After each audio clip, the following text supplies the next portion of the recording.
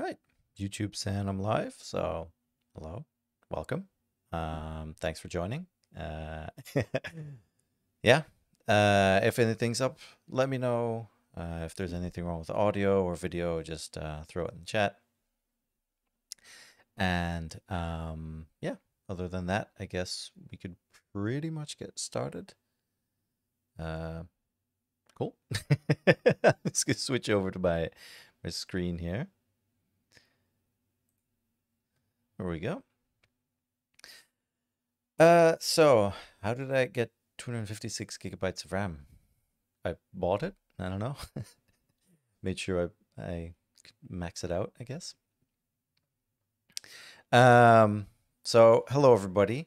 What I'll be doing today, and I should have prepared this. Obviously, that would have been a better idea uh, is try and make something similar to something I did recently. And when I posted it, people seemed pretty excited about it. Um, so this is something I created recently for a uh, sort of a masterclass at my college where I used to um, used to work, not work, where I used to study. And every year, um, for the past few years, I've gone back and held a class.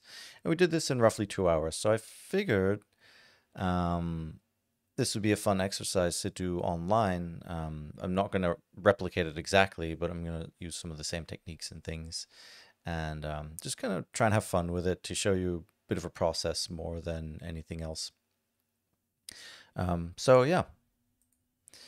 So, I'll try and answer some questions uh, every now and then. I'm not going to constantly go back and forth because I need to kind of, uh, yeah, stay focused, I guess. Um, but I will jump in every now and then and answer a few questions. All right, so just got Blender 3.0 right now, and um, the plugin I'll be using to create uh, the human model is called MBLab. Um, you can see it here. It's mblab.dev is the um, the website. So if you want to use the same the same thing, you could. Um, I'm just going to use it very quickly to generate a mesh and then all the fun stuff is kind of going to go from there. So let's see. Um, I'm just going to create a, I don't know, just pick something randomly. Um, let's say Afro male and use cycles. That's fine. Create the character. And then I'll be able to change it up a little bit with everything that's going on. So Hello, everybody joining. Thank you for joining. Um, so generally what I'll do is I'll go into the random generator and then I'll keep the fantasy bit uh, and I might set the engine to realistic and that way it's not going to turn it into an elf or anything. Um, but you can kind of, yeah, control it by saying what, what you want to preserve. So for me, I don't really care. I'm just going to hit generate a couple times see till we get a face that's slightly different. That might be interesting. I'm just kind of looking at head shapes to see if something kind of pops up. Um, obviously, we'll start from the, the base um, sort of phenotype, as they call it. that's pretty interesting. Uh, let's see, just going to keep generating different ones. Kind of, I quite like that face. Maybe just a little bit more. Just trying to look for something as I'm spinning around, kind of looking at an interesting um, sort of face shape. I really like this one. Feels kind of expressive. All right, cool. So with that done, I don't really do much else. I just go straight to the finalize tools. I turn off save images and backup character. I don't really care about it. I'm just going to hit finalize because the next step is just posing it. And because we're doing um, this, uh, I guess, yeah, what was I going to say? Um, just sort of a headshot. We can get rid of a lot of the mesh uh, while we're creating it. So this is kind of fun. So once that's done, we'll go into pose mode. And I'm just going to bring down the arms a little bit so the shoulders look a little bit more normal. And from here, I'm going to change two things. I'm going to look into maybe setting an expression and just looking at how the head is kind of pointing. Maybe we could have it point to the side. And I'm just already looking for like an interesting camera perspective. So, no, it looks cool. So let's add a camera. And again, um, as this is a demo, I'm not going to spend crazy amounts of time refining. I just kind of know what I want to do and go from there. So let's see. This looks visually interesting. So let's turn up the Passepartout on the camera. So that's kind of an interesting shot. We'll see with lighting and everything how much it changes, but it's good to know that this works. Um, let's have a look at some of the expressions. Do an angry expression. I'm not feeling that angry today, so let's see if we can do something different. Give him a bit of a grin. It's a little bit over the top. I generally actually like a fairly, um, I guess, a neutral, uh, neutral look. So we'll see. We don't necessarily have to do anything. Make him annoyed. Ugh. you could have way too much fun with this stuff. Actually, I'm just gonna leave it the way it is. I kind of like the the neutrality of it. That way, the the mesh can do the talking rather than the expression.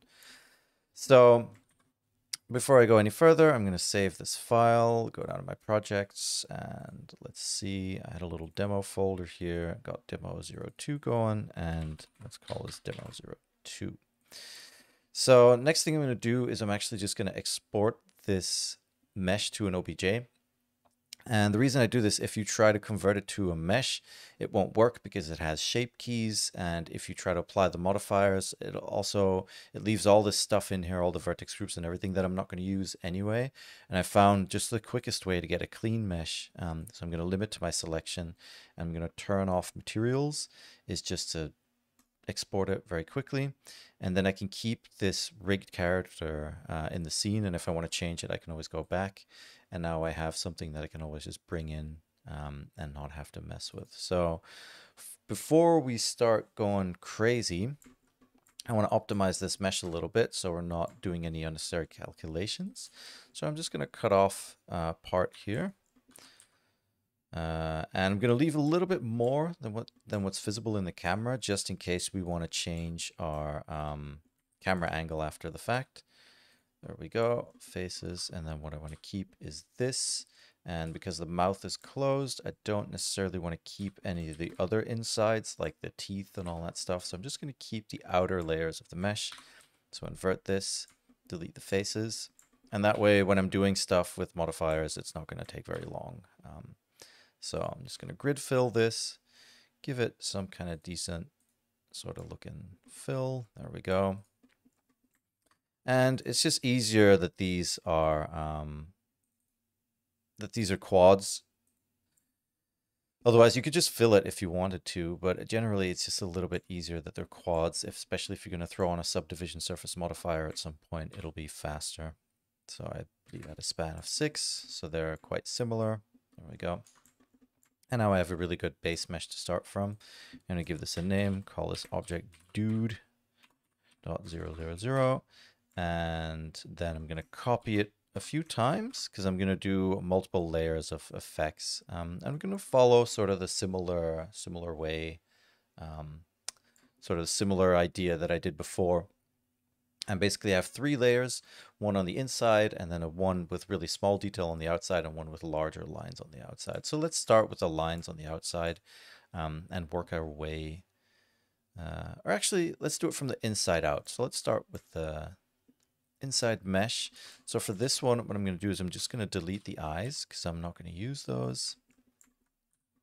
And then we can look at our face orientation. So I'm just going to flip the normals and that way they're pointing inwards. And the reason I'm doing this is I'm going to add some hair onto this just to get like a whole bunch of cool sort of inner looking interesting things. And let's see, I'm going to turn off the emitter in the viewport and in the render because I really just want the inside.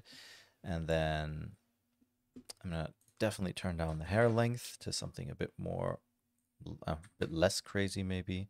I'm going to turn up the strand steps in the render and um, that way when we start applying forces to them, they'll they'll have enough steps to kind of do crazy stuff. So, so let's add in turbulence force. And as you can see, immediately it affects the hair, which is kind of interesting. And we can mess with the size a little bit to get some more interesting looking things. And then um, what we can do as well is I'm going to add another object, just a very simple object like a cylinder in here. And I'm going to use that to sort of attract all the hairs inwards. Um, I could convert this to something like geometry nodes and then use like a raycast node and all that kind of stuff to to get it to work. But I like generally fairly simple uh, solutions, and this tends to work pretty well. Because um, we can set it to non-renderable, and because it's inside the face, it'll look interesting. So um, to do that, we're going to add a force field and set the force to surface. And what that's going to do is it's actually going to use the surface of the mesh to project forces in and out. And what we want to do is now set this in a negative value, and then it's going to pull a lot of those hairs back in. So we have them wrapping around that force, but they're being generated from the um, from the mesh itself. And then we could always move the turbulence force up and around um, to get something that works with what we're doing. So we might have to move this back a bit uh, depending on when we start doing the meshes. But in the original example that I showed earlier, you'll see that, I don't know if it's still open no.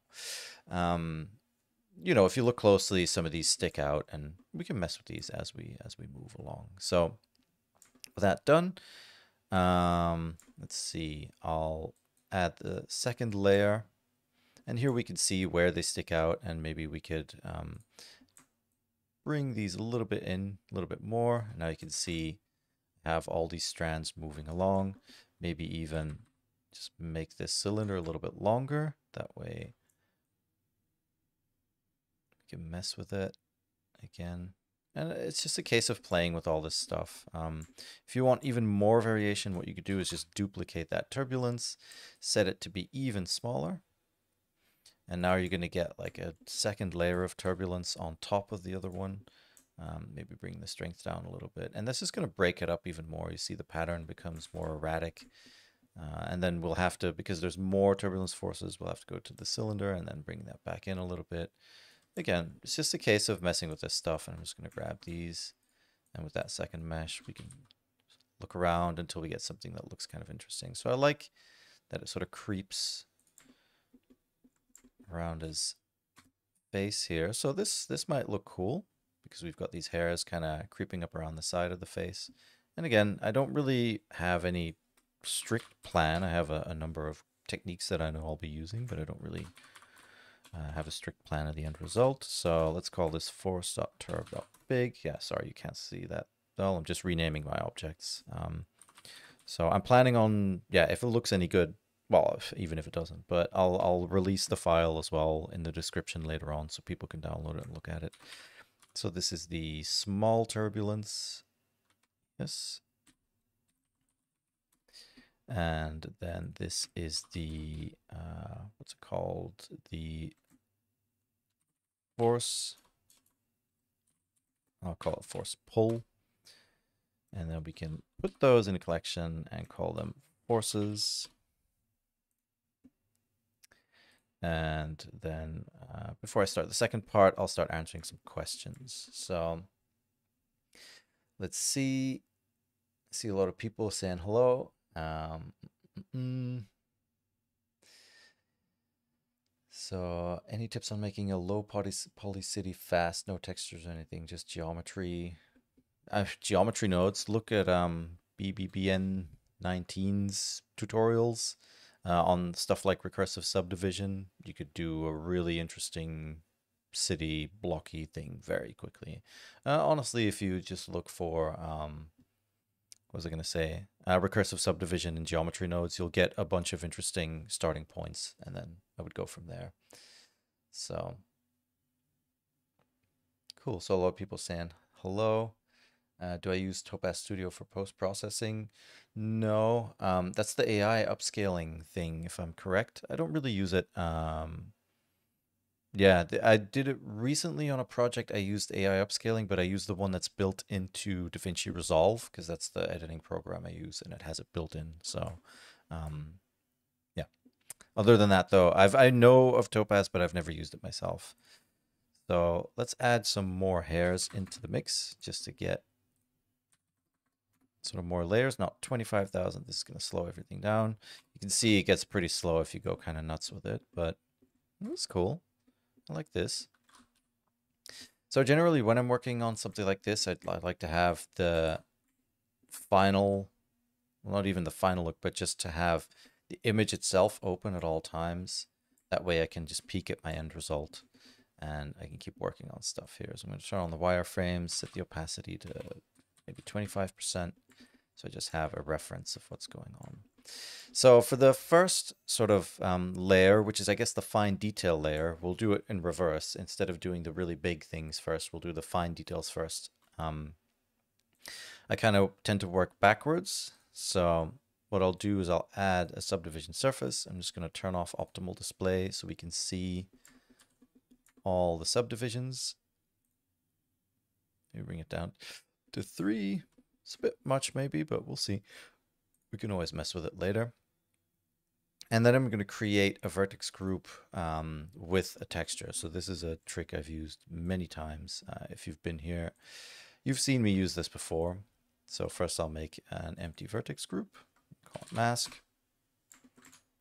And then in the weight paint node, you'll see that as I select this in the vertex weight edit modifier, and I put this after the subdivision so it has more polygons to work with, so it's a lot um, smaller um, smaller and it has like more detail and stuff. I'm to turn on group add. I'm to invert the fall off. So basically all you're doing right now is just telling Blender, okay, I want you to fill up this uh, vertex weight um, by just flipping it. And then if we add a texture to this, we could add something like a distorted noise. Uh, and then you'll see it kind of fills it up um, dynamically and we can mess with it. So I like to use the cell noise is my favorite. Uh, yeah, like if if you watched this before, you'll know why. Um, so going into object mode, it's a little bit big, but I want to squish it down so it has a more interesting pattern. So what I'm going to do, I'm going to create an empty. And I'm just going to scale it down, maybe on the z-axis, maybe to 0.2. So that way it's squished down on the z-axis, but it's um, it's actually sort of normal size, I guess. Uh, on the other axes, sorry, I'm a little bit tired. I planned this yesterday and uh, I didn't realize I was going to be this tired today. So taking it easy. Um, so in texture coordinates, what I'll do is I'll select the object and select that empty. Basically now I can use that empty to control how the texture is projected. So by squishing it down, I'm getting this sort of like glitchy, distorted pattern, which looks interesting. And then I can just bring the, the size down in here while looking at it. And the reason I want this is now what I want to do is I want to start by um, decimating this down. So if you just collapse it down, what you'll see is, um, there we go. I don't know, is there another one visible somehow? No, the other one's still visible. I don't know why that is. I turned off show emitter. It's weird. I'm just going to turn it off for now so we can focus on this. I'm going to turn up the wireframe opacity a little bit so it's a bit more visible. So now you see, just by decimating this, uh, we get yeah, just like a triangulated mesh because we're decimating, if I turn it off, we're decimating this uh, subdivision, subdivided version down.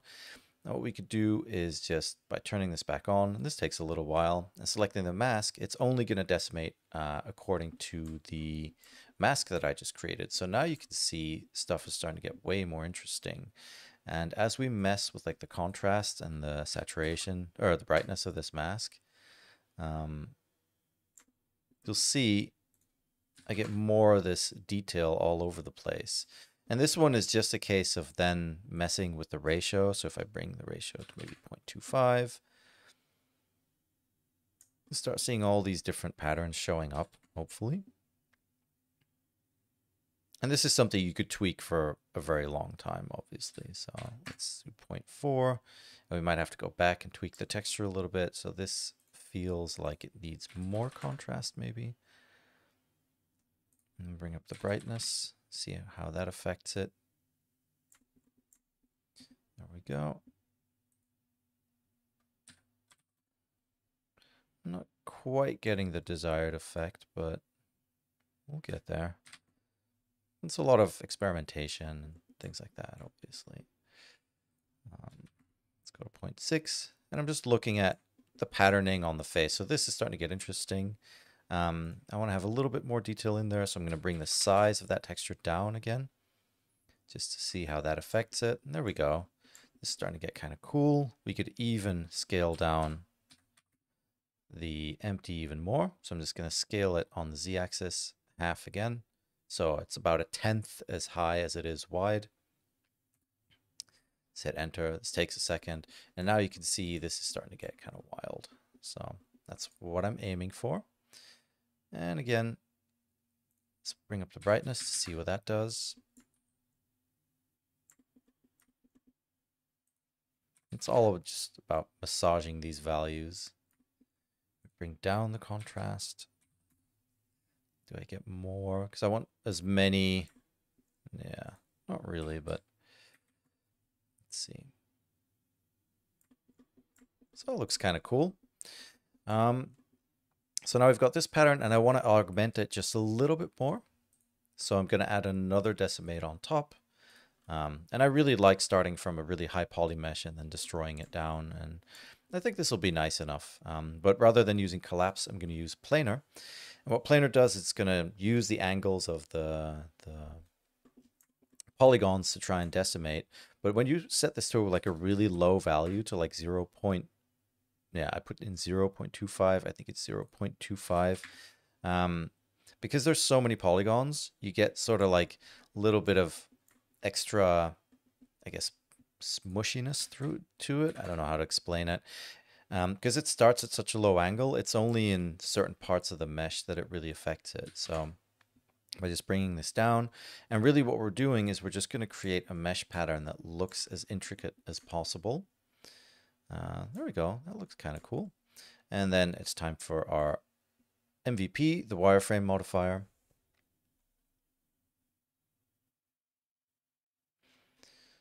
Uh, so let's see. And this always explodes uh, until you turn off even on a mesh like this.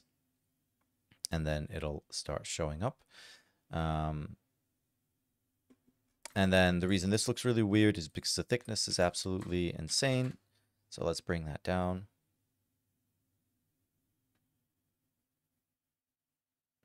Come on.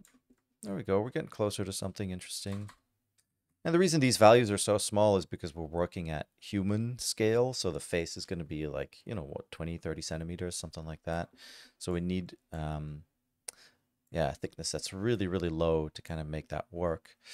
But in general, I can bring it down even more if I wanted to. Let's see. But I might switch over to a different, uh, different technique in the wireframe. There's still issues around the eyes here. Um, so let's see if we can bring those down even more. So again, just scaling them down, scaling them down. And I want to make sure my um, pull force here is, I'm going to leave the visibility. Let's see, I'm going to set this to viewport display to wire. I'm going to make sure it cannot render at all. Um, that way I know it's there, but it's never going to render and I don't have to deal with like transparent materials or anything like that. Um, there we go. There's still some clipping here and there that I can see, but we'll see. This might catch the light in an interesting way. Um, so with that one done, if we turn on our uh, wires again, we can start a render already. See how uh, how this goes. Move up the area light. Hmm, that's looking kind of wild. So our hair is really, really big. That's okay. We can fix that later. So I'm just putting in one single area light Actually, let me reset the rotation, bring it down a little bit, move it forward. And this is a good way of looking at it objectively. So um, yeah, what you're seeing here is that the hair is absolutely massive. And um, one thing I might do differently is maybe bring it into geometry nodes after all. Uh, but we'll explore it the way it is first and then kind of go from there. Because um, the hair is really cool, but it also has its limitations. Um, yeah, I'll actually I'll fix that first. So really all it is is under hair shape. Um, we have our strand shape, uh, basically have our size of our hair strands. And I'm gonna bring down the root size a lot smaller. And now we're gonna get a lot finer hair, which is nice. Bring it down to 0.05.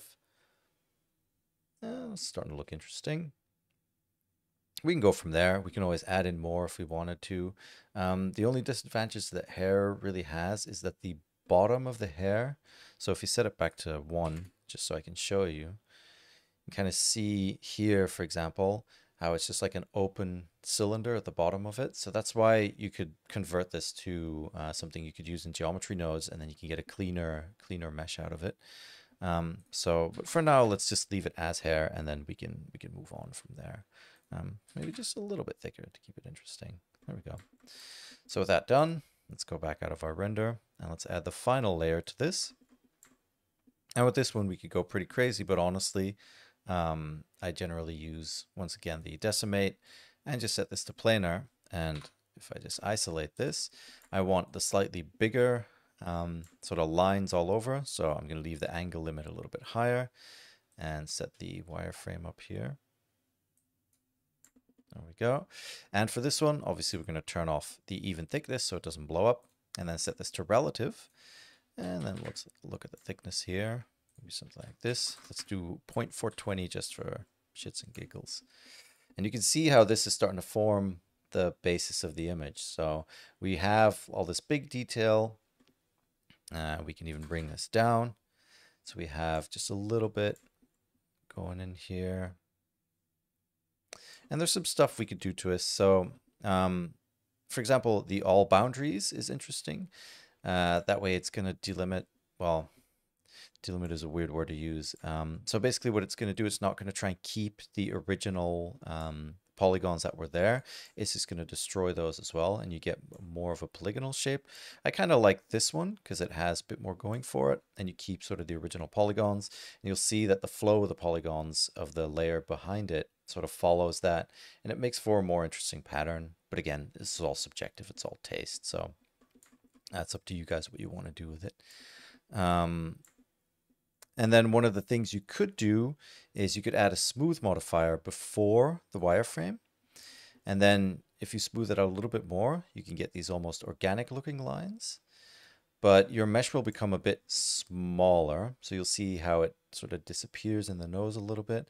But it does look a bit more interesting. It gives a bit more an organic feel. So we can leave that on there. And we can toggle it on and off as we were trying stuff. But I kind of like the way it looks.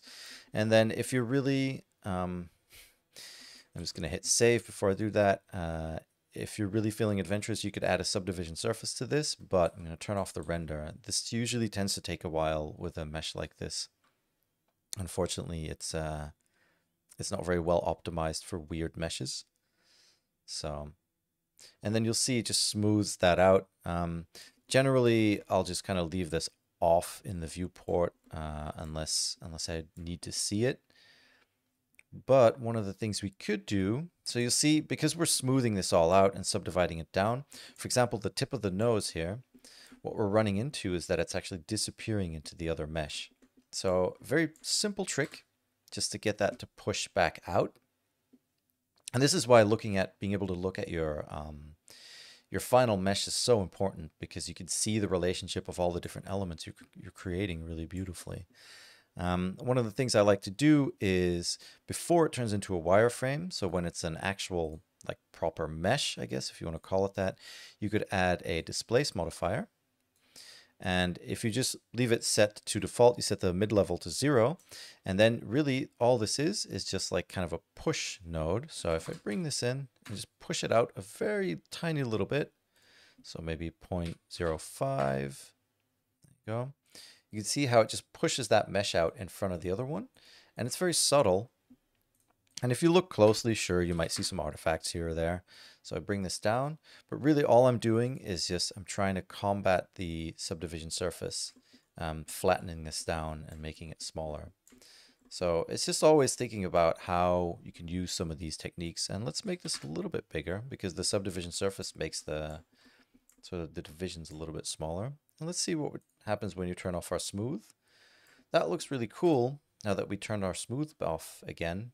Um, we have those sort of edges that are still there, but the subdivision surface is kind of toning them in or toning them down a little bit, bringing them in a little bit.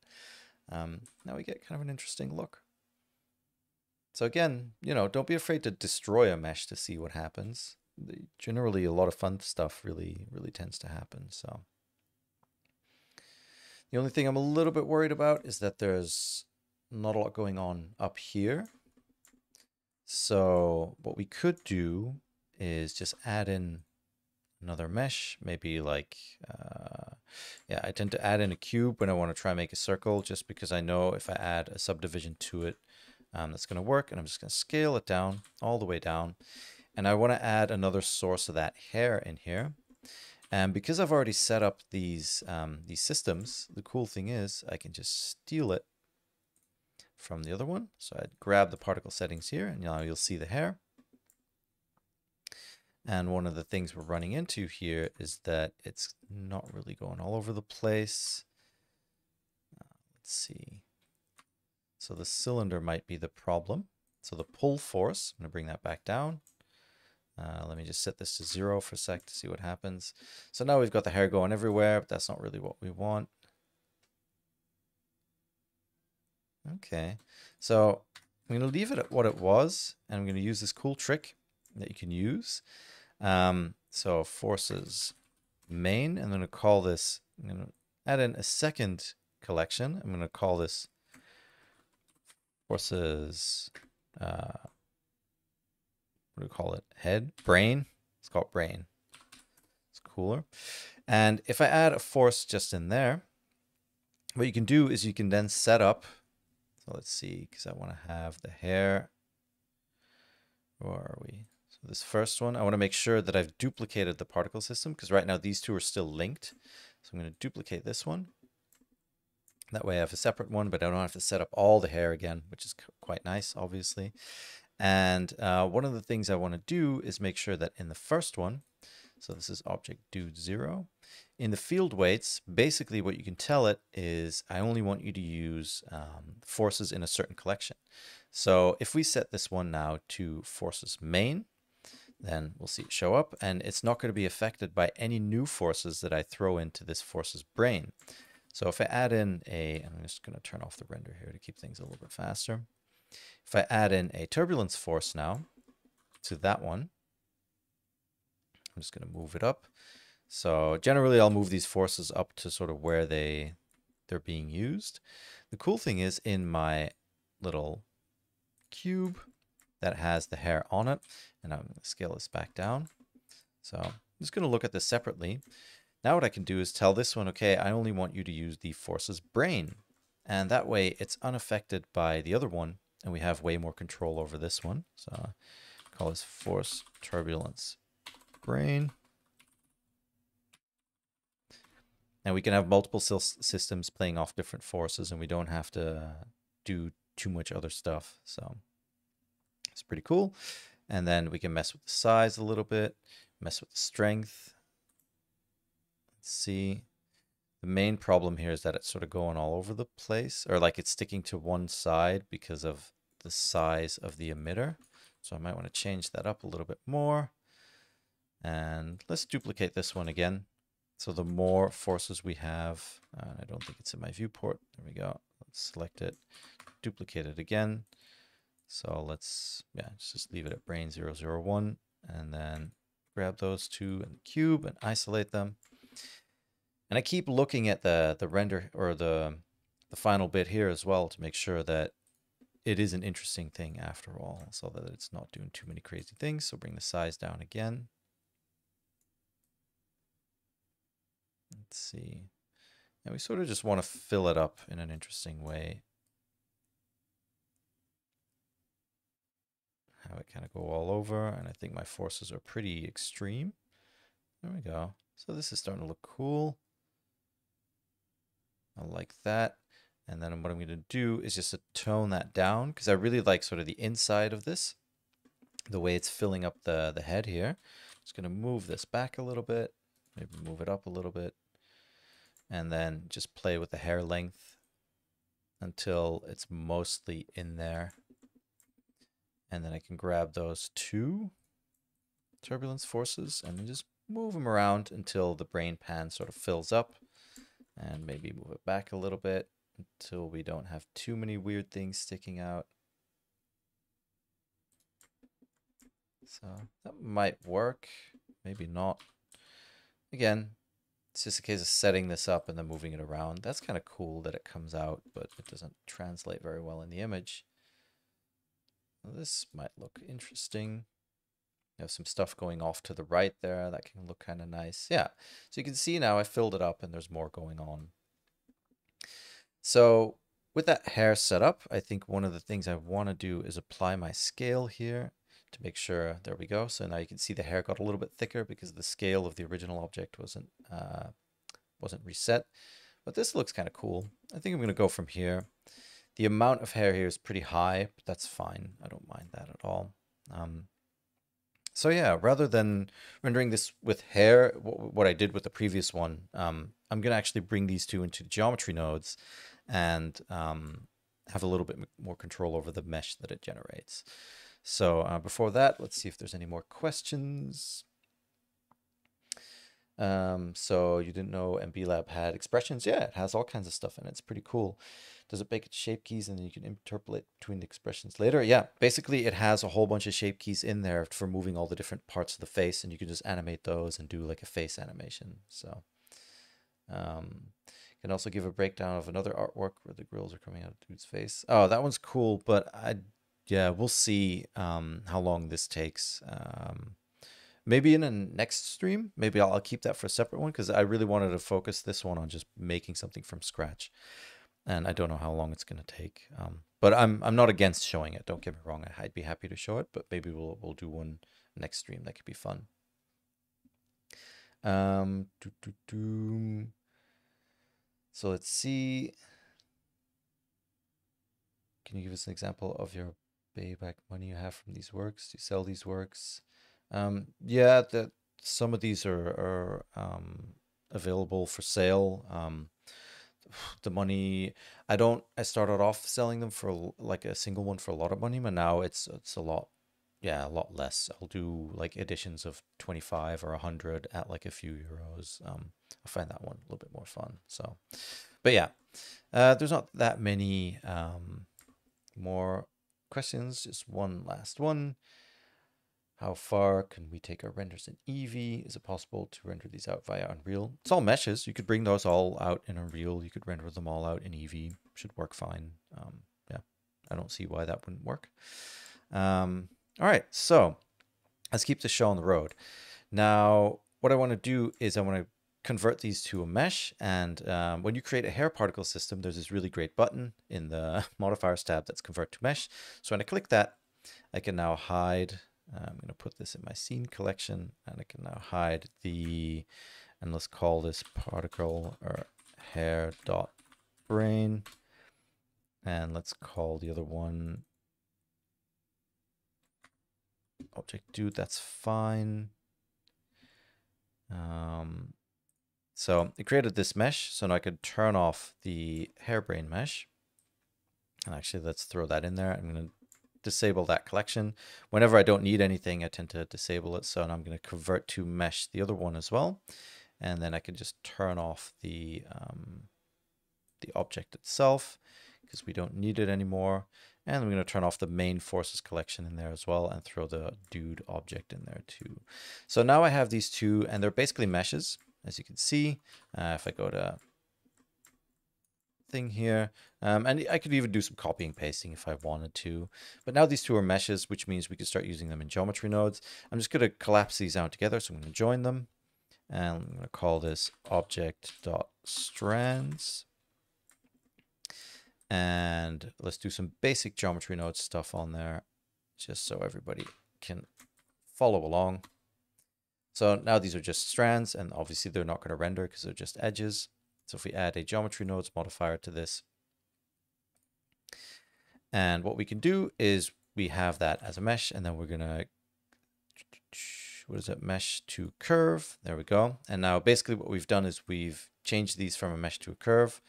And if we go back from a curve to a mesh then, now we can add in a profile curve to give this thickness, which is really nice.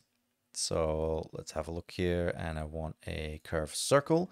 Before you plug this in, always make sure to bring the resolution down because it's going to take a little while, uh, even like this. And you'll see my viewport absolutely explodes and that, that's because the radius is really big. Now, rather than set this radius here, um, what I'm going to do is I'm going to set the curve radius separately.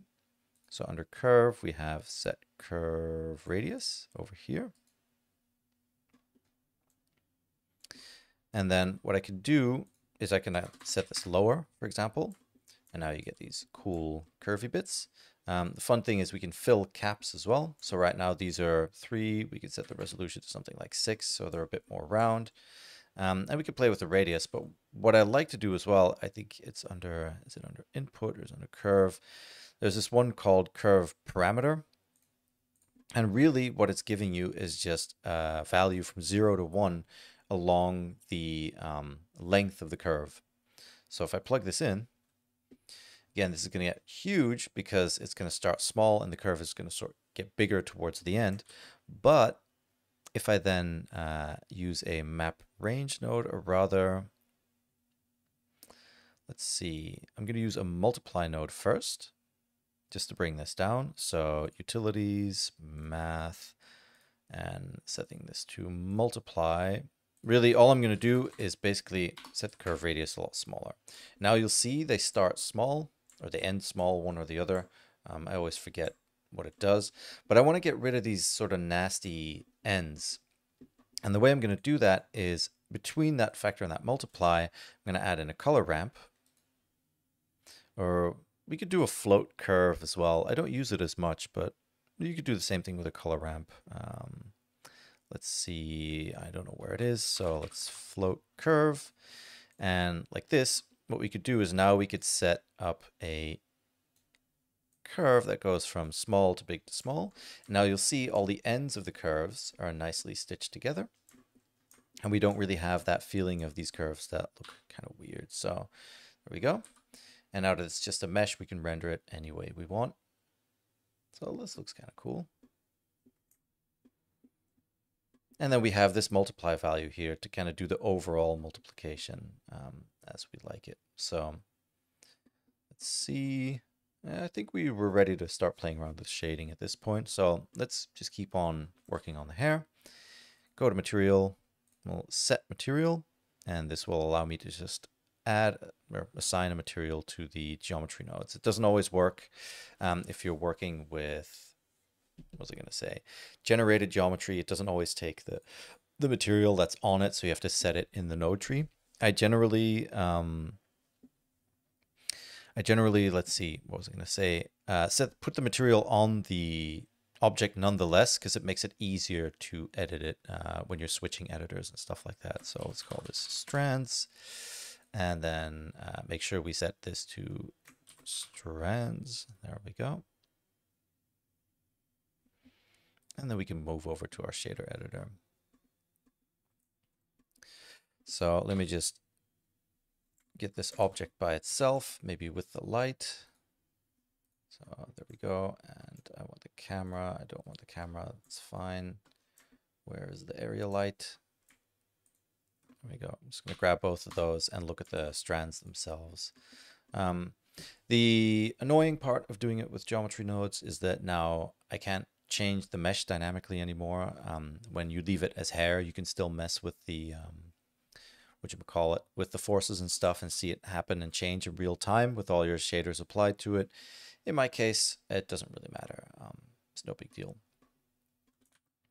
So what I'm going to do is I'm going to grab the geometry node from the input section in the shader editor.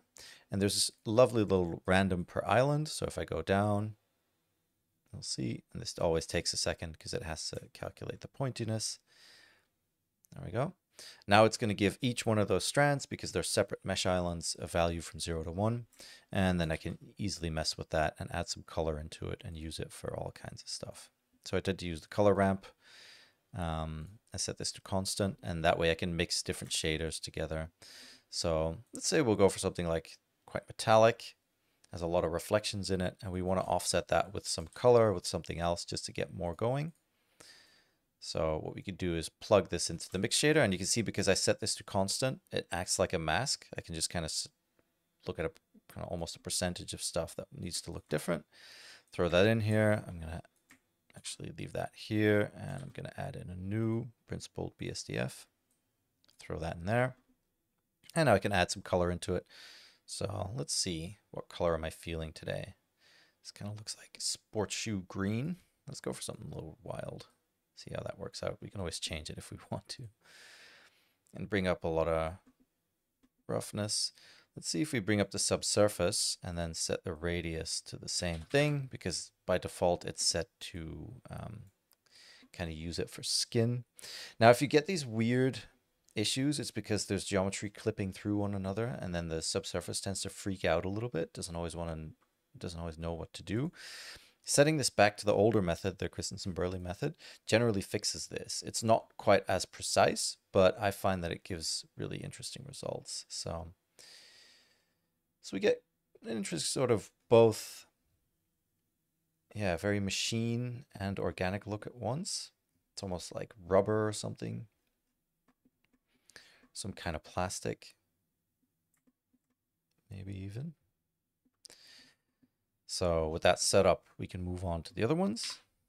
And again, this is just the inside. So you'll see now, really it's just giving me a little bit of extra here and there. Um, so we went through all this work, but it, is important because I, I, tend to render a lot of this stuff really large. And then when you want when you zoom in, you definitely want a lot of that extra detail in there.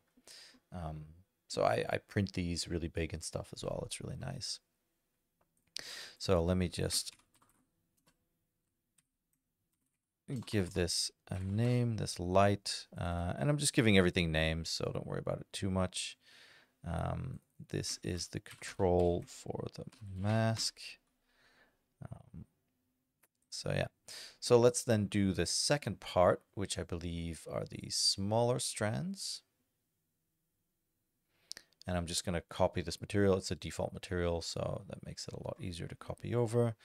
Let's set this to metallic, and I really like metallic shaders. Um, yeah, they just there's something about them that's interesting. Here you can see um, because I'm setting the roughness fairly low, it picks up and highlights that light really nicely and just adds so much to the overall image, so much like density and layered feel to it. And it's cool because I want to be somewhere between like this very ethereal feeling thing and at the same time almost feeling kind of solid. So that definitely helps. I might switch it over to something else in a little bit though. Um, yeah, and then for the outer one, because this is so big, uh, what we want to do is we want to make sure that there's some detail in the shader as well. So let's see. Again, bringing this down to metallic, maybe making this one a little bit darker so it contrasts everything. So here you can see how it brings out everything else.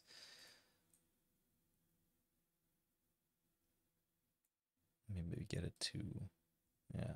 So here you'll see sort of the limitations of the mesh a little bit. And stuff like this can be solved by, by setting up the render subdivisions a little bit higher. Um, but it'll take a little while to calculate and depending on the RAM on your GPU, it might or might not work, and you might have to tone it down a little bit. But it's just to fix those reflections here. But yeah, there's still a lot we haven't added yet, so um, I'm going to keep this simple. And the idea of this exercise is just to kind of get your brain going and um, and play with things and, and experiment. So uh, I'm going to use a Musgrave texture because I really like those and set this to object Scale it down quite a bit. There we go. Set up the lacunarity. At least that's how I think you say that. And bring up the detail. And now we get this sort of very patchy looking mesh, but I want to do more with it than just that. Uh, so it's just the outside, and I want something that's a bit more swirly and interesting. So we could mix uh, multiple textures together. And um, I have a wave texture here, and uh, let's set this to rings, maybe, and distort them. We have more rings. We'll see how, how this goes. A bit more detail in there, maybe. And what I want to do is I want to have, um, yeah, basically this texture here, this wave texture. Let me plug that in here and delete that mapping node because I don't really need it. Um, I want to have it affect the other one. So with a mix RGB node, what we can do is use this second wave texture to kind of mess with the coordinates of the first one. And as you mix this in, the effect becomes more pronounced, but it, it's a really easy way to get way more detail into your textures. So let's see, as we bring this up, you see how it becomes sort of swirly and the wave texture messes with it. I really like the way this looks. I've used this a whole bunch of times. There's no, uh, no secret trick or anything to it. So, um, it's just a lot of fun. And when we use this now, um, and the Musgrave texture has this weird habit of um, having colors that are out of bounds. So the the black is sort of darker than black, and the white is sort of brighter than white. It's the quickest way to describe it. I'm going to add a map range node to this, and what that's going to do is allow me to control the contrast in the uh, in the uh, the overall texture. So I'm going to map this from something a little bit darker. So really, I'm I'm not really doing this mathematically. I'm just doing this visually. I'm trying to look at some of the darkest spots and make sure there's like some black in it, but it's not completely dark. And then we bring this down, I want to make sure that in the brightest spots, there's some white, but not too much. So there we go. So now we have a nice range of contrast in that um, in that texture, which is cool. And then this one sort of just forms the basis of other stuff. So for example, what we could do is we could plug this into the base color. And then we're not going to see anything because we don't, oops, wrong keyboard button. We don't have our, um, come on, light. Takes a second. There we go. And then we can already see this doing its work, but really what I want to do is use this more as a roughness and a bump map. And um, it's going to add a bump node, plug the height in there. And as we add this in, um, by default, it's set to one. It's kind of crazy. It's going to look a little weird. And we see some artifacts on the edges because, again, we have very little, um, very few, I guess, um, polygons. Wow, sorry, spaced there for a second. Um, and then what I want to do is maybe bring down the uh, contrast on this a little bit. There we go. Just we're just adding layers and making sure that everything sort of feels right. And maybe what I want to do is just bring this up a little bit and bring this down a little bit. Because I really like the way that darker shader sort of contrasted. And we're already getting a pretty interesting result because the bump is doing its work and it's giving us this, this fake roughness almost. And I'm just going to bring that down a little bit because I don't want to overdo it.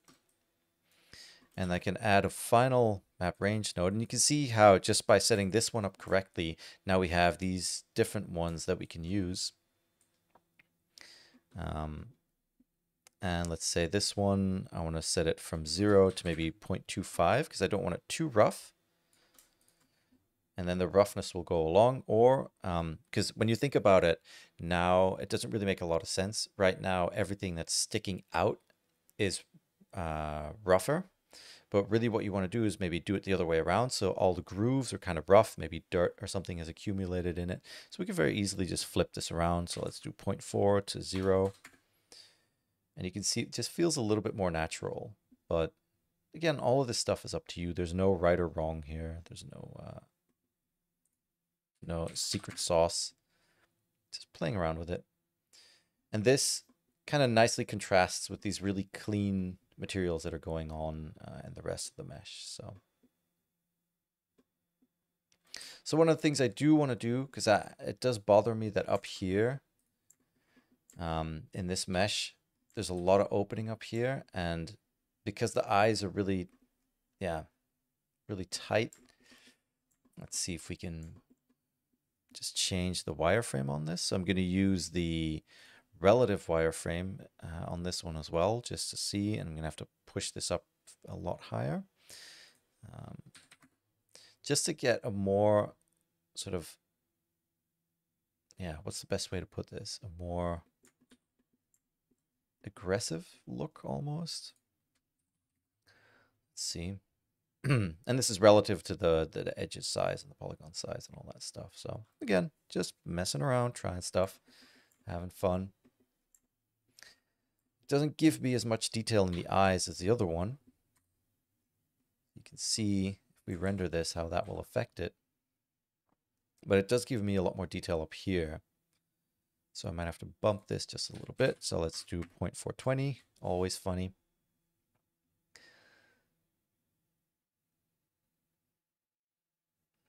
There we go. And now we have those two nicely working together.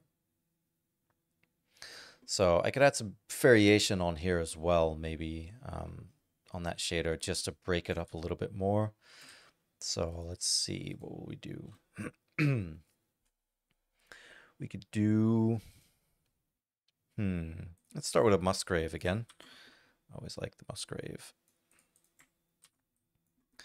just have a look. Uh, let's bring up the detail, bring down the dimension, bring up the lacunarity. We get this really dirty stuff. But let's see, let's try and take this to, to a whole other level. Let's try and kind of get the same feeling in the shader that we had in the in the mesh itself, where some parts of it are like almost have like almost digital distortion or something. So we're gonna have to distort the ever living crap out of this Musgrave texture. Um, I'm going to do that with brick textures, which are kind of fun. Um, the only problem with the brick texture is that it's 2D. So if we look at it, and actually this is going to work in our favor because it's being projected from the front. So this will work just fine. I'm going to bring down the mortar size and set the second color to black. So we want to make sure this goes from white to black. And then when we bring the scale down, we're going to get like these bricks all over the face. And to get more of a glitchy effect, we're going to grab another brick texture and we're going to do the same thing that we did earlier to the to the Musgrave texture. And we're just going to mix in that second brick texture to the colors. And now you can see, as I change the second one, we get a more distorted, um, we go, we can maybe see it better if I isolate this object. Let me select it real quick and isolate it. You can see what it's doing. And then we could even push that back into the Musgrave to see if that works at all. This by itself might work pretty well. Uh, no, there we go. And now you can see it really affects it. And as we push it, we get those bricks again. We can mess with the squash, for example, on the second one uh, or maybe even the brick width, make the second one a little bit higher. And then it's just a case of duplicating this again, doing the same thing. So we have that one going in here, we have that one going in there, and that one going in here. And the more you layer these, the more, yeah, sort of crazy the effect is going to get. And you would definitely want to mess with these mixes a little bit. Mine's up pretty high. Oh, and just by setting this to zero, I found something interesting. But I really like the way that, that the distortion is in there as well as sort of the, the muckiness of that Musgrave. And we're going to do the same thing again. So let's see, bring this back out. And all I'm going to use this for is, again, we're sort of just sort of repeating what we did earlier. We're going to grab that map range node and we're going to look at it and make sure that we have a nice little bit of contrast in there. Just bring that down. And there's a lot going on now. And maybe I want to make this one a little bit brighter. So again, I'm just using one to drive everything. Definitely want this brighter because I really want these to be there. But then what I could do is again, map range these back into the roughness and then maybe set the roughness to like 0.25. Let's see what the original roughness was, about 0.27, so maybe about 0.3. And that way we've got a lot more going on in our shader as well. When you finally zoom in, and I don't know how visual it's even going to be at this point, but. So one of the things I'm noticing is that it's still set to shade smooth. So if we set this to shade flat real quick, we're going to get these hard edges and it's going to look quite a bit different. But um, what this allows us to do is to use a bevel shading node. So here it doesn't catch the light quite as nice. You can see how all the detail's gone. Um, but let's see if we can bring that back with a bevel node. And what the bevel node does, basically, it allows you to create sort of a fake bevel on hard edges. But I'm going to set this really small. And here you can see the effect as I set this smaller and smaller. You can see how it sort of, you can feel how these almost have a bevel on them. Just by plugging that into the normal, now it feels like these edges are beveled. Once you get really close, you could tell that it's not correct. But now we have two things working for us where that bevel kind of breaks up the edges here. See how it breaks up the edges, but we still have those flat sides catching the light as well. Um, but we'll see. I'm not 100% convinced. I might change it back to smooth. I like what it does in here, but I'm not necessarily liking what it does up there. So I'm just going to change it back to set smooth, or shade smooth rather. Yeah, this feels a bit more balanced. So yeah, I'm sure we could get away with it like this. Again, if you get up close, sure, you'll see that it's not perfect, but yeah, we haven't, we're not even done adding everything to the scene yet, so that's cool. Um, so it's getting a little dark. Now, one of the things I like to do at this point is add in some volume shading.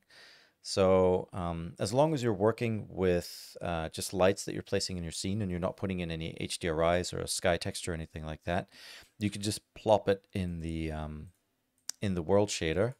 There we go, and we get instant mist, makes it look cool. Bring down the density density a little bit, and let's let's start playing with lighting now. Because um, right now we've just been basing everything off this one big light at the top. Let's start by lighting this one from the back just to make it a little bit more moody. So with lighting, I'm always trying to allude to things rather than just lighting everything up like crazy. Um, and what we could even do is just move this one over a little bit. I don't think we'd notice. Again, because we're looking at it from one side, doesn't really matter. So I'm going to move this on the x-axis. We can just mess with it a little bit. can always reset it if we have to. But for example, I really like the way they're like sticking out there. It makes you feel like something else is going on on that side of the face that you're not you're not seeing. So just by pushing that out a little bit, you get all this extra interesting detail. And I'm just looking for a good balance between, again, alluding to something more going on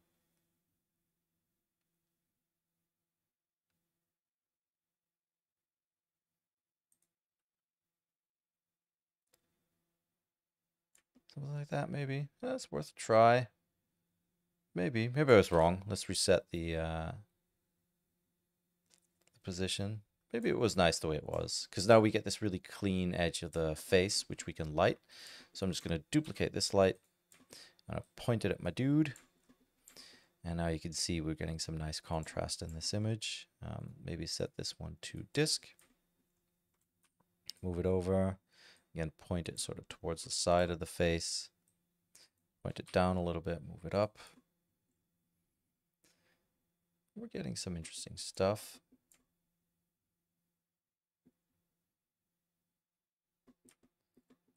There we go.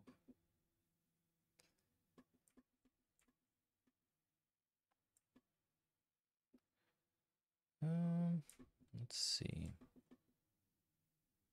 Now let's start playing with the contrast and the look as well. I really like a very contrasty look and then kind of fight against that. Bring up the density. And we'll need one sort of final light to light up this side of the face so we can see some of the details. So I'm just going to duplicate this one, flip it over, and see if there's an interesting place we could put it. Excuse me.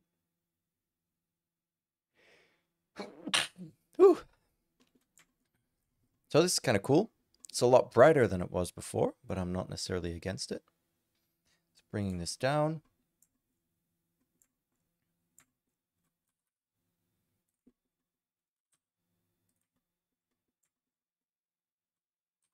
bring this in a little bit so there's more for it to reflect.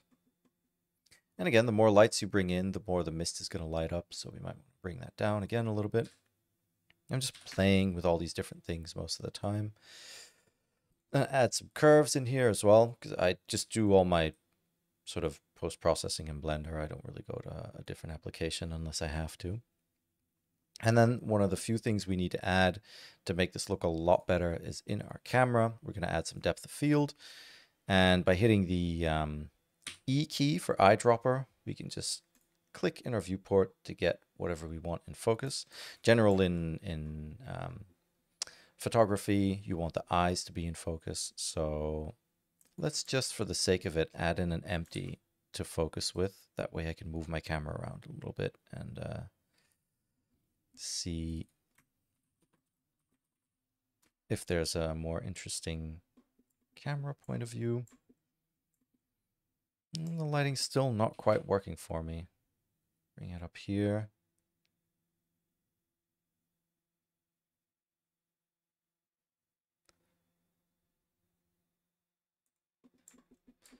Add maybe another light, but now we're adding a lot of lights, which in general I prefer to not to have it too complex, but yeah, adding it from the top here does help.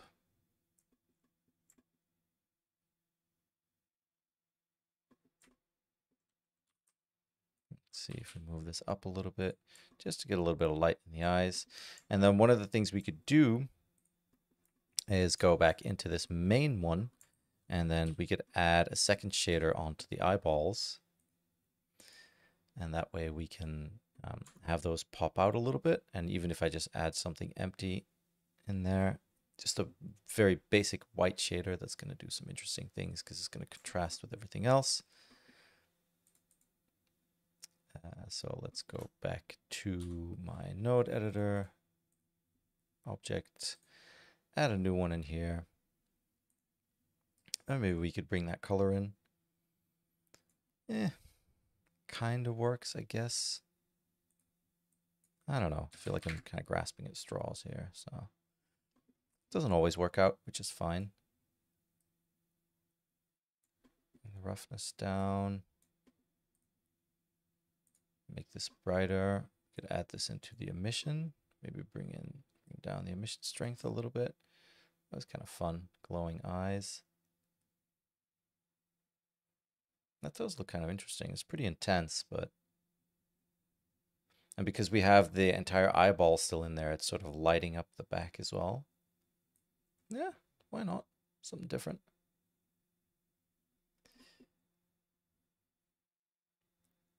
That's cool.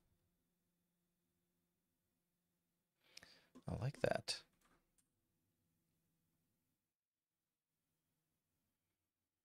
All right, so let's see. I'm going to set my camera here and call this cam dot 70 millimeters and just see. Um, generally, I'll just make a duplicate of the camera just to save it in case. And um, I'm going to set this focus object to the focus and just play around with it to see maybe there's a better, um, like I'm happy with it right now, but you never know. So just by playing around with that, just looking at it, because the camera is now focused on the eyes, I don't have to worry about the focus. I can just look at the different parts. Is it focused? It is not. There we go. And then you could, you know, play around with this. That's the best part. Let me select one of these here so we can travel around them. There's a lot going on. So you're definitely lit to look at him from his left side. But even something like this could be interesting.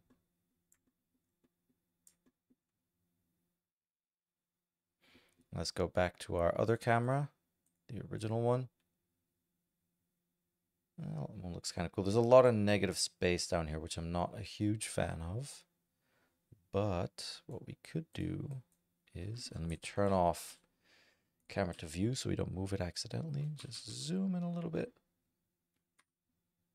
I had the wrong object. This is going to take forever. Let's give it a second to recover here. Um, I might actually um, answer some questions in the meantime because I know this is going to take a second. Um, mm -mm -mm, mm. Favorite music at the moment? I listen to all kinds of stuff. Right now, during the stream in the background, I'm listening to Stellardrone. I really like that. It's good uh, work music. So, um, how has my foray into NFT been? Eh. It's interesting. Not really about it one way or the other.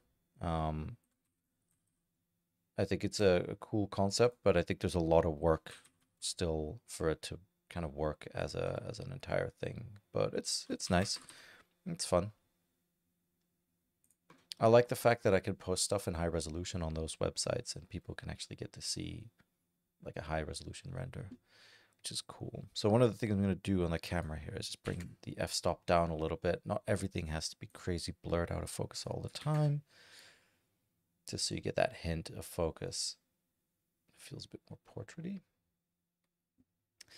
Um, do do do do. So, uh, somebody else says, please don't delete the stream. The stream is gonna stay up after the thing, after the, after it's done. So it's usually immediately archived. Um, so you can start watching it after. So this is kind of nice. I don't want too much blurriness because I don't want all the hard work I put into this to disappear, obviously. But I also don't want it to overpower. Like I still want a little bit of focus on the image. So this is starting to look okay. I want to add a little bit more detail. And um, at this point, I'm kind of following the, the script of what I was doing in the demo before. What I want to do is add some dust particles in here. And to do that, I'm just going to create a cube mesh. There we go. And this is going to be, let's see, uh, just a particle system and I'm going to set it frame start end to minus one. So this is something I've done like a million times. Make sure we're emitting from a volume. And then when you set the physics to none, this is just going to be a static particle system. So you could play the animation, nothing's going to happen. So you could really just treat it as a scattering tool, which is quite nice. I'm going to create a plane. Just let me bring that down here, make that smaller. So now the plane, I know the plane is one by one, so that makes sizing it a little bit easier, uh, scaling it after. Um, and then in that cube, what I want to do is make sure the emitter and the viewport display are not shown. So that way, when I render this, the, the cube won't be shown and we just have whatever particles are in there. And then I'm going to render this as a collection. I tend to always put my um, particles in a collection because it's just the easiest way. If you put them in a collection, then you could turn off the collection and then you don't have to deal with it. So I'll call this particle dot dust. Is that the cube? Did I put the wrong thing in there? Yeah. So this is the emitter dot dust. Let's take that out and it's the plane that I want. I'm going to call this particle dot dust and just throw it in there. And before we do anything with that particle, um, I want to give this a shader. And basically, I just want like a little gradient or something in the middle um, so that it looks cool and that it can catch the light a little bit. So let's see, let's start with a translucent shader. And actually, let's start with a gradient texture. That's going to be easier. Excuse me. Sorry, I hope I didn't uh, blow up somebody's headphones there. I'm just going to grab a drink real quick.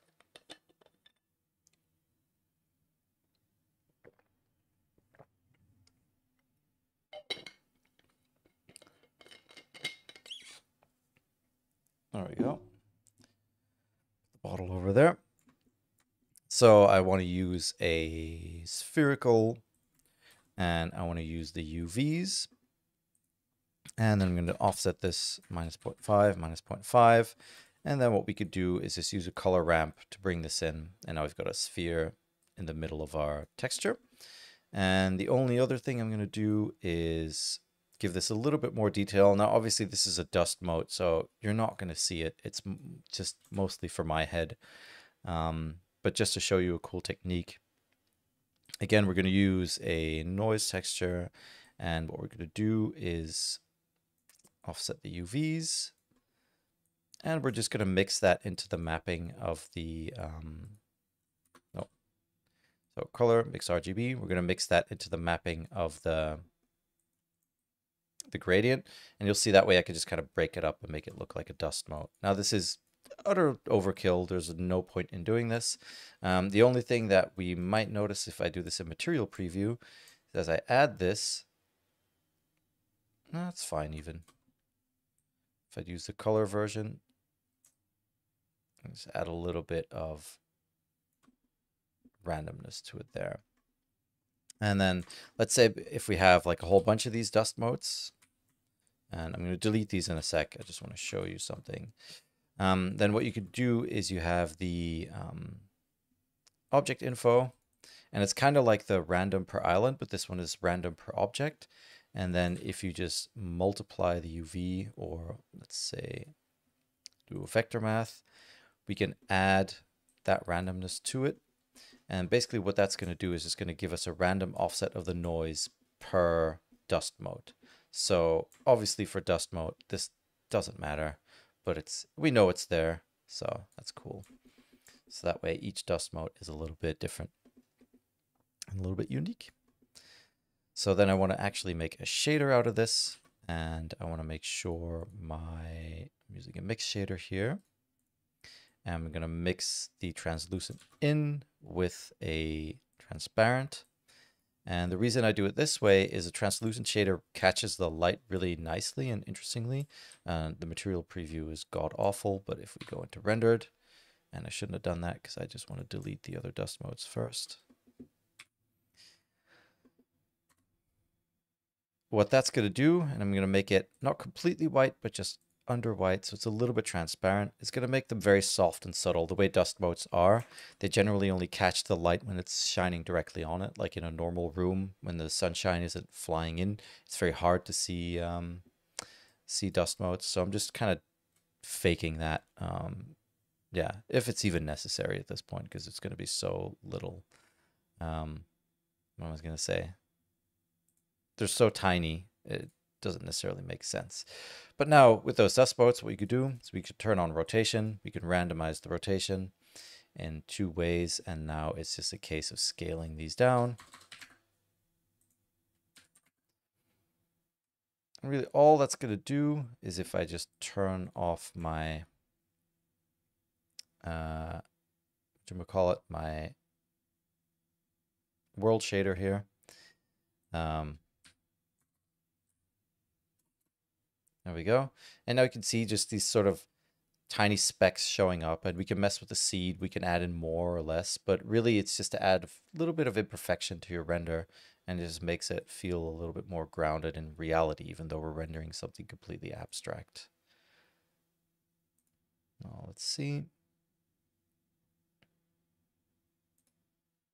I think I might want to make the eyes glow a little bit more, but we can do that in just a bit. All right, let's hook this principled volume back up.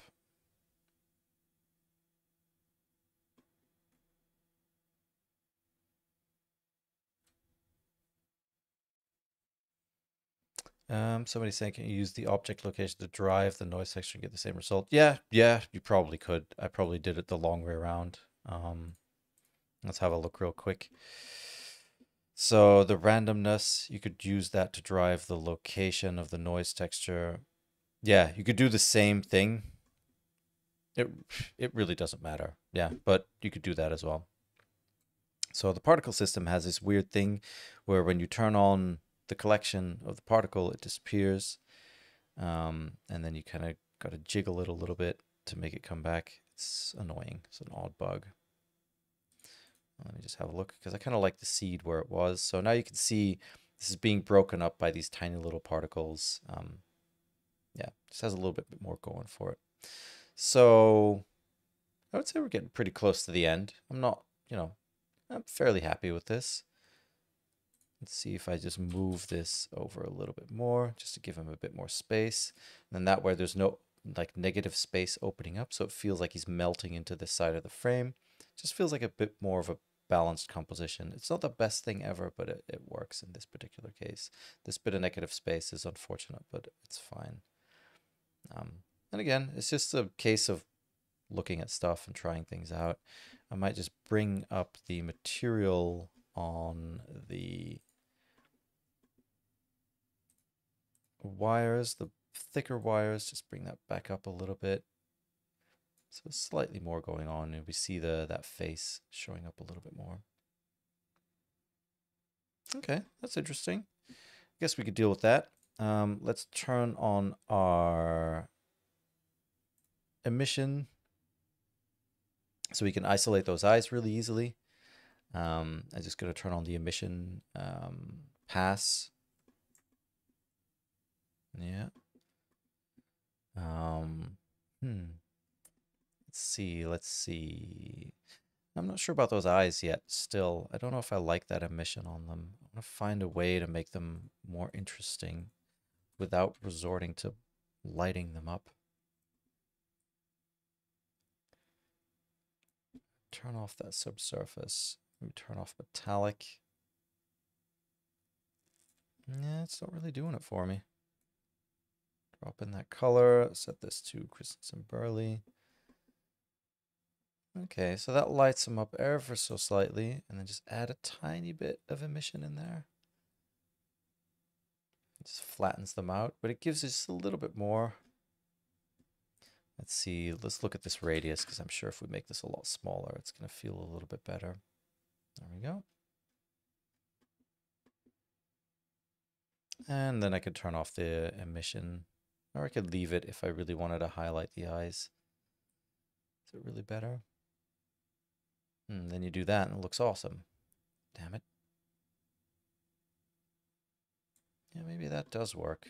And then bringing down the volume a little bit more, maybe, just to give it a bit more, a bit more contrast, make it a little bit more gritty. Yeah, for the sake of brevity, I'm going to move on. Um, because I could do this stuff. I could tweak this stuff for a very long time. Maybe have the eyes more in the middle. What happens if I bring the camera down? Does that help? Then he's a little bit far up the frame. No, okay, we got it. We got to stick with it. Keep moving on. So let's do some final compositing. So they ended up being nice and emissiony after all. Um, but I think that looks cool.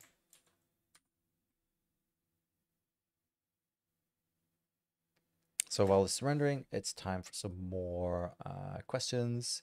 What is your favorite AI tool right now? I don't really use any AI tools. I guess the, the Superscale and Resolve, if that counts. But other than that, um, I'm not really using any of them right now. It's interesting, but I just haven't had the time to look into that stuff. Uh, I wonder if you could share to make an iridescent shader with frost glass. Uh, yeah, that's going to be a lot to go into. So I would suggest looking for a tutorial, unfortunately. Um, but they're out there. You could also buy um, shaders on Blender Market and stuff that do that. Um, but yeah, I'm yeah, I'm not going to get into it. I'm afraid it's going to take too long. so, but basically, frosted glass yeah, you would mix, you would layer them. I would do the frosted glass separately and then layer the iridescent shader on top with something like a layer weight node and then have like, yeah, there is one, I can show you one. Maybe that's a good uh, starting point. There is on the Blender Artists Forum, there's a really good iridescent shader. Um, it's free that somebody built. Uh, where is it? I'm just going to go to Blender Artists and then type it in. Let me make my browser a little bit bigger here. It's rendering so we can take our time. So, iridescence. CNC. I always forget how to spell it. I think it's iridescent.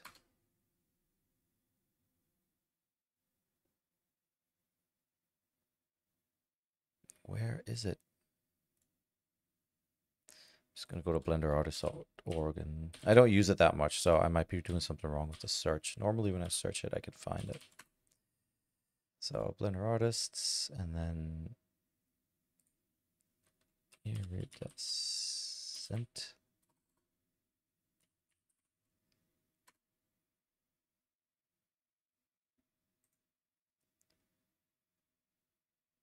Where is it? Where is it?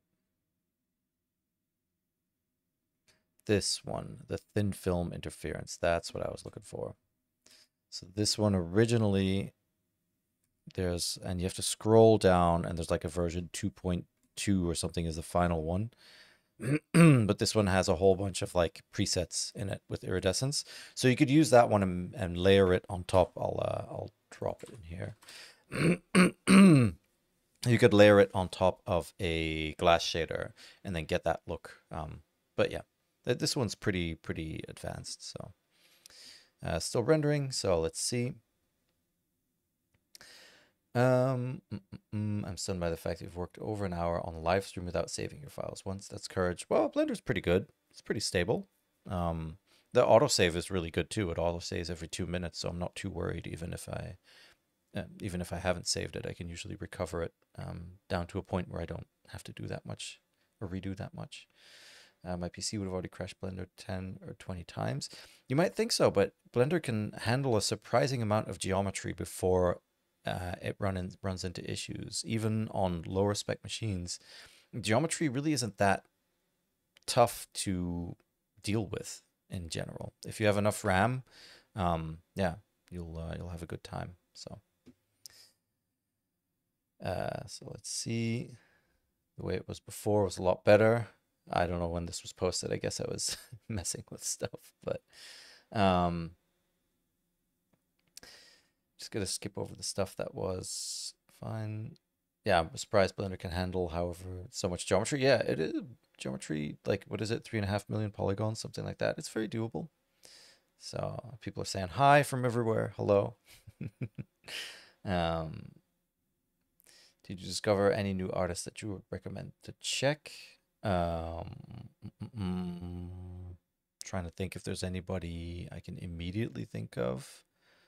Um, who was I looking at earlier? Uh, let's see. Let me open up my Firefox here. I'm just going to open it on a different window so I can search through my history. Um, so I kind of rediscovered uh, Rus Khasanov. Uh, where is he?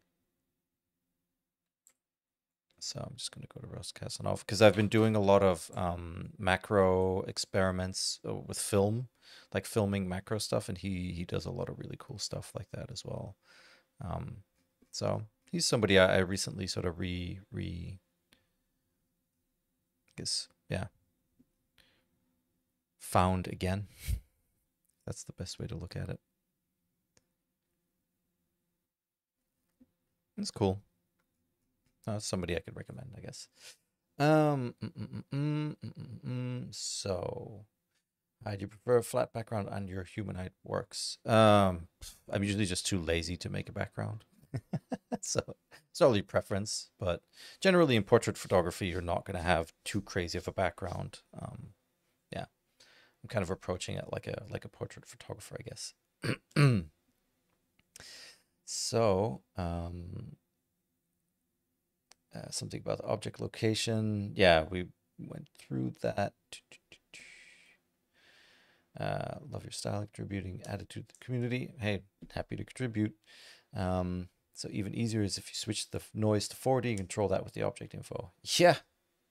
See, even quicker way to do it. Now I'm not going to change it because uh, then we have to re-render I don't want to want to start finishing this up. Um, but we'll see don't know what my render settings are set to, but it seems to be going a little bit faster now. Um. Seems my screen is dirty from the dust now. yeah, yeah. The screen, the the dust. So it's a little, like you said, it's the little details that do go a long way. Um, do I ever share my project files? This one specifically, I'll share as well once I'm done with it. Um, and I could, guess I could upload it live and and share it while I'm answering some questions towards the end. Um, do you often mess with multiple render layers and composite stuff together or just raw dog the camera output? Honestly, I prefer raw dogging the camera output because putting that stuff together again, whether it's in Blender or in a different package, is just time consuming and I, uh, yeah. Um, I'd prefer to do everything in camera if possible. Um, but yeah. And the thing is, this way I don't have to leave Blender. I can just keep going to the end, to the bitter end in Blender itself. Um, now for this one, I think I left the emission on. Yeah. So in this case specifically, because I just have those glowing eyes, it might be you nice to use it to kind of, um, yeah, separate it out. But even in general, I would just use a mask or something. It's just to save a little bit of time if we're going to end up doing something with it. So I want to have a bit more um, on the face here. So I'm going to put a big, big old vignette at the bottom. Um, but to do that, let's go to the matte and let's create an ellipse mask. And what I'm going to do is I'm just going to multiply that in. And I should really learn the shortcuts for Node Wrangler because I keep doing all this stuff by hand. I'm sure it can be done faster. So let's bring this up, move this up a little bit. Oh. And then let's rotate this. So I'm just using this because the blur filter, unfortunately, in the Blender compositor, even on a crazy machine, is just insanely slow, which is a shame. Um, so I could position this correctly before I blur it. Open filter, blur. Let me zoom in a little bit so you can see what I'm doing. Then I set this to fast Gaussian, which still not very fast. And if you set this to relative, now you're going to blur relative to the size of the image. So when I do a larger render later, uh, when I bump up the resolution, I know the blur down here is going to stay the same, which is kind of nice. So now um, we've got this going for us. And you can see immediately how it pulls the um, the face sort of out of the rest of the image. And it's a little bit dark. I might back this off a little bit. And again, this is all personal uh, stuff. Maybe if I make it a little bit bigger, it's a little bit softer, but it didn't quite work out there. Maybe bring it up a little bit, ever so slightly. There we go. Now we have a nice sort of flow going from the top to the bottom of the image. So it's cool. Um, yeah, I kind of like that. I'm digging this. I don't know if I do too much to this, honestly. It's quite interesting. Maybe move this over a little bit. So there's more darkness on the side of that face even. Sliding it over. There we go. Now let me just look at the blur here and change the thing because I really don't like that part that I was all about in the beginning. I really don't like that too much. So now we blur it out. This is going to blur out a little bit as well. Um, maybe I'm overdoing it, overthinking it. It's okay. This is working against me now, but it's fine for the purposes of doing this live. Um, sometimes you just gotta stick with what you've got. So see if we can do any quick color correction. So I use the curves in here all the time because I know I'm just exporting my file from Blender. If we just bring this out, it's tiny corrections. So just by taking the red out, the green looks a bit more interesting. Let's mess with this. Bring up the green a little bit. Not too much. We don't want it like completely green, but we want it to accentuate the rest. There we go. And then bringing the blue down up. Again, just pushing it around just to see if mixing these channels gives us anything a bit more interesting. I don't know, I kind of like this the way it is. It's not perfect, but it'll do for the purpose of demonstration. We could do one final glare maybe, but I've, yeah, I don't really use it that much anymore, I've noticed. So let's see. Um, if we just put in the glare and we set the mix to 1, then we can actually see what the glare node is doing. And we can change the threshold. And then we'll see, maybe here is where, yeah, here is where that emission um, comes in. And that way we can just set it to 1 to 0 or to 0.5. So in this case, that kind of helped. And I'm going to set this to fog glow and the size to 9 and just set the threshold to 0 so it just glows like crazy. And by having this glare separate, we can composite it over and we have more control over it. So I'm just going to add that in. There we go. Now it's just a case of toning it down to see. It's a little over the top, but it does just give you a little bit more to go on. This turned out to be kind of fun.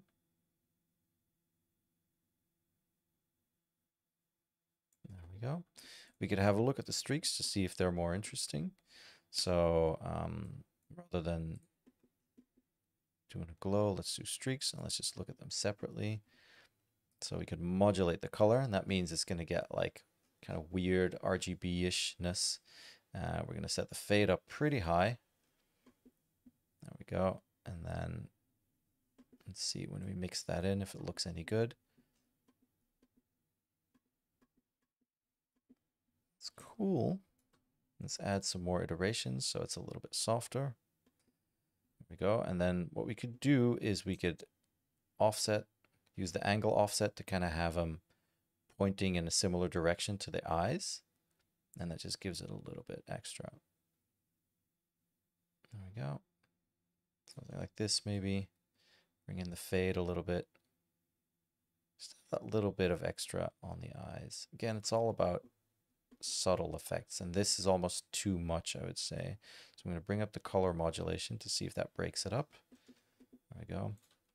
Let's take them away and add them.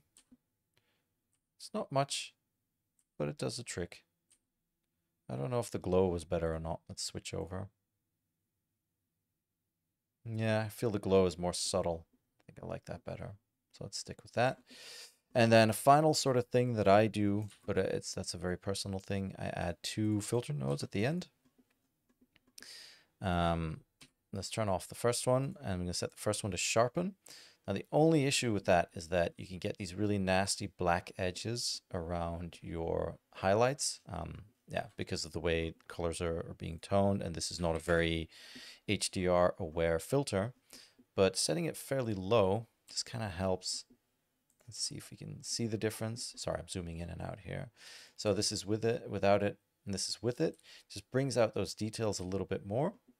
And then I kind of almost undo those with a soften um, because when you're taking pictures with something like a DSLR, nothing is really ever sharp. And um, I found as well, if I ever want to blow up this image, if I just want to make it like 10% or 20% bigger, if I'm printing it large format, um, then it really helps that it uh, it has been like softened a little bit because then you won't see the, the the digital nature of it as much. So if we just turn both of both of those off, you can see the difference. It's very subtle, but for me personally, it just sort of takes the the CG-ness of it out of it a little bit. So there you go. He's looking pretty badass. Um, so yeah, I think that's pretty much it. I'm going to set the, uh, how long does it, did this take to render? Seven minutes. Hmm, let's see, can we bring down the noise threshold? Maybe the maximum samples. We'll do like a final render. I might bring this back up for the final render, but that way I can let it render again at larger, larger format and uh, answer some questions in the meantime.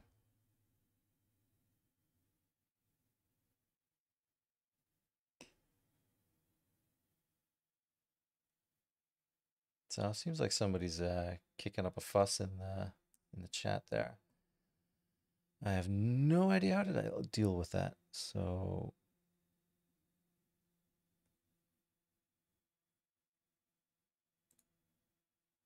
I'm just gonna remove that because that's unnecessary. Sorry, I have to do my own moderation here.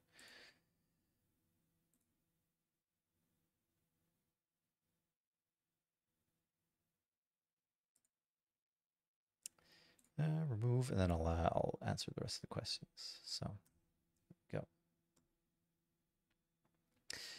Um, do, do, do, do. So let's see, where were we? Um, mm, mm, mm. so that was the multiple render layers. Which distro I'm using? I'm using Void Linux. Um, yeah, so I use Void Linux with a GNOME desktop, uh, which I really like. Um, doo -doo -doo so image, where would you recommend to start if you want to learn about motion graphics? honestly, just start making stuff and start thinking about things you want to make with those skills. Um, the thing that I've always found is when people start uh, learning things and they don't have anything they want to use it for, then generally you kind of get stuck learning these techniques, but you never really apply them. And maybe it's a good thing to think about a project that you want to create with those skills and then go from there. That tends to help. So, um. So let's see more people. Which Linux distro? I just answered that one. Uh, how come ZBrush is able to handle more topology? Well, because ZBrush was built from the, the ground up to handle lots and lots and lots of um, topology. So, so let's see. Uh, how to start shading nodes training. Just mess with them. Start plugging stuff into one another. Um, there's a really good uh, procedural shading training course on the Blender Studio by one of the people that works on the films there, uh, Simon Thommes. So I would recommend looking into that one as well. Um, that's a good place to start. But he goes pretty fast. So yeah, there's some like advanced concepts in there that that come out pretty quick. so make sure you know what you're in for. Um, mm, so I have no idea what binode means. I'm sorry. um, do, do, do. Macro stuff was really much. I've been enjoying that because it's nice to have something outside of 3D to, that's a bit more tangible. um, yes, uh, Toxic Tuba, it was your comment that, that got me uh, looking at Rus's stuff because I'd looked at it before, and then um, I was talking to somebody about it recently, and I couldn't remember the name, and then I noticed that you had commented it, and I was happy to to look it back uh, uh, to find it again. So that was really nice. Thank you. Um, so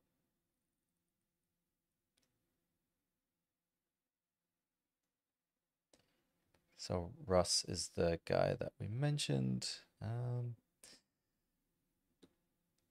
so, well, people are saying, nice stream. Well, thank you for joining. Uh, there is going to be a meetup in Antwerp the 20th of May. Uh, so mark that in your calendar. If you follow me, I'll tweet about it. Um, and the 13th of May, I'm going to open up a gallery show that's going to be running for two weeks. So anybody in and around uh, Antwerp, is welcome to join 13th of May. It's a Friday evening and I'll be having I'll have a whole bunch of physical works in a gallery. Um, more on that if you follow me, I'll definitely uh, definitely talk more about that. So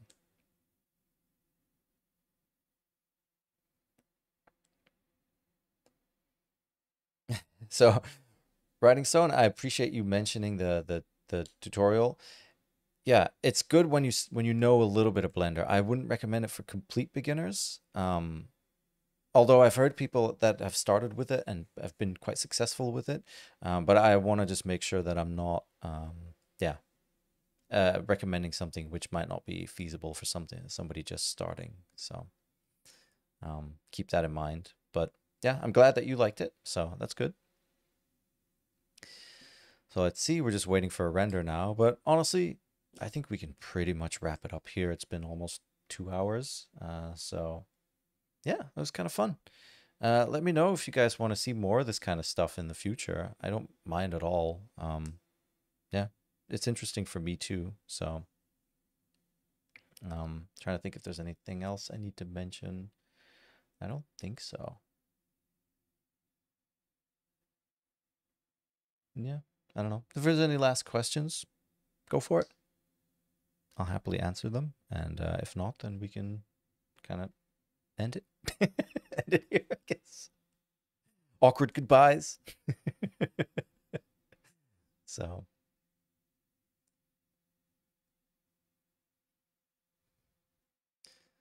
this bad boy render.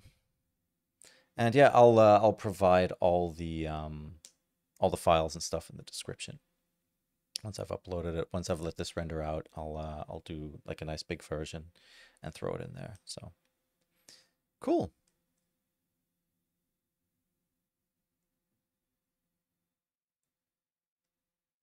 I want to see as much as possible. Yeah, I mean, it's uh, I need to find the time to stream a little bit more because I do enjoy it, but I just need to make sure that, yeah. I always feel like I'm repeating myself because I use a lot of the same techniques over and over again, maybe in different ways and stuff. But I just want to make sure that I'm not like just doing the same thing over and over because that doesn't really, it's not really useful for anyone. I think so. Cool. So I'm seeing a few people answering uh, that they like them and I could do more. All right. Yes. Cool. So I think I've I've ranted enough. I'll um end the stream here. So thank you again for joining all of you. I have no idea because every time I yeah, I'm terrible at streaming, so I never know when I hit end if it actually gets the right part or not. But um oh, there's some questions coming in so quickly. Is there a reason why you render things as one big tile? I think it's faster when you change the tile size, by the way. Um, yeah, I prefer to see the entire image at once. So that's, um, yeah, that's definitely a thing. I just prefer to see the full thing, honestly. Um, I can judge a noisy image a lot better than a part of it. So now that we have that functionality, I'm going to use it all day, every day. For final render, if I'm running out of um, memory, I might turn it on. But other than that, I don't really bother with it too much. So it's mostly for like preview renders that it's disabled. Um, am I planning on doing a tutorial for the macro photography stuff? I would love to, but I just need to figure out how to do that because I would love to do a live stream where you can watch me film it where you can see the output of the camera and I can stream it in. So that'd be cool. Um, but yeah, we'll see. And then let's see. You've worked on flower pigmentation like patterns, form. I not really, honestly. So sorry. But yeah.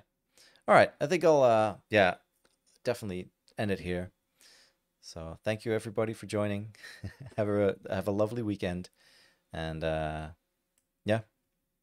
I'll see you soon. Goodbye.